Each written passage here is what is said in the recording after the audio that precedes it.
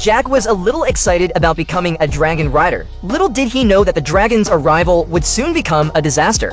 That day, Jack found his boss being tortured by a mysterious man. The question was about the dragon's egg. Seeing that the boss had given himself up, Jack rushed home. He wanted to escape with his father before the mysterious man arrived. But the dragon sensed the danger and grabbed him to take him away. Instead of appreciating the danger, Jack blamed the dragon and struggled on the dragon's back, almost falling off. The dragon had no choice but to throw him into a haystack.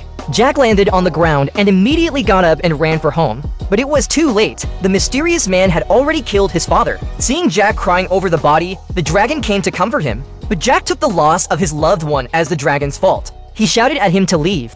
Go away! And stay away! Seeing Jack's firm attitude, the dragon had no choice